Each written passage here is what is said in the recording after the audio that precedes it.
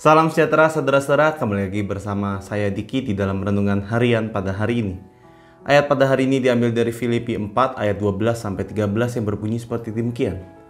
Aku tahu apa itu kekurangan dan aku tahu apa itu kelimpahan. Dalam segala hal dan dalam segala perkara tidak ada sesuatu yang merupakan rahasia bagiku, baik dalam hal kenyang maupun dalam hal kelaparan, baik dalam hal kelimpahan maupun dalam hal kekurangan Segala perkara dapat kutanggung di dalam dia yang memberi kekuatan kepadaku. Saudara-saudara ada sebuah istilah, dua istilah yang menarik mungkin kita sering mendengarnya, yakni resilience dan juga persistence. Apa jadinya kalau hidup kita di dalam kehidupan kita ini semua berjalan mulus? Nggak ada tantangan ataupun cobaan. Semua yang kita harapkan, inginkan kita dapat wujud. Mungkin ini yang diidamkan oleh banyak orang. Tetapi yang dinamanya hidup tentu tidak lepas dari apa yang namanya dinamika.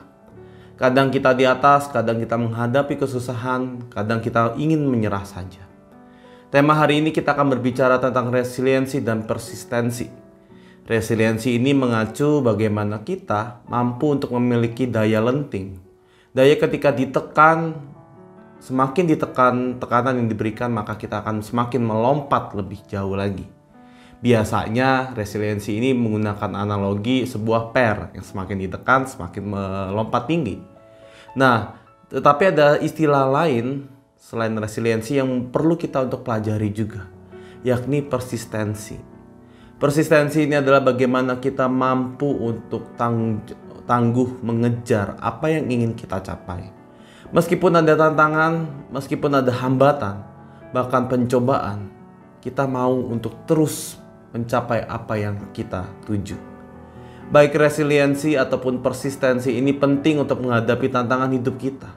Dan dalam bacaan kita pada hari ini kita diingatkan kembali untuk tetap tangguh menghadapi segala situasi yang sedang kita hadapi. Memang dalam hidup banyak dinamika, nggak melulu dalam kondisi kelimpahan ataupun kondisi yang baik-baik saja. Namun juga tidak melulu dalam situasi yang terus-menerus buruk ataupun dalam keterpurukan.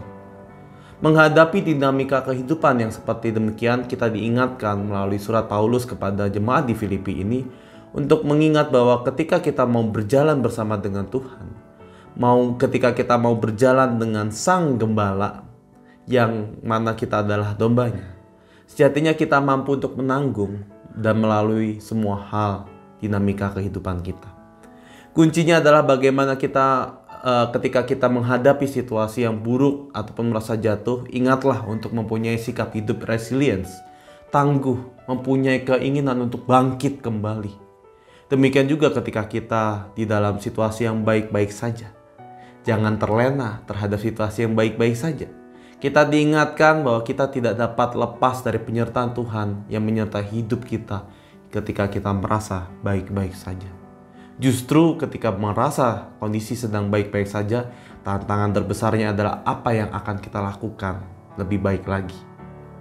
Baik dalam situasi mudah ataupun dalam situasi yang sulit, kita ditantang untuk bagaimana melihat penyertaan Tuhan dalam kehidupan kita.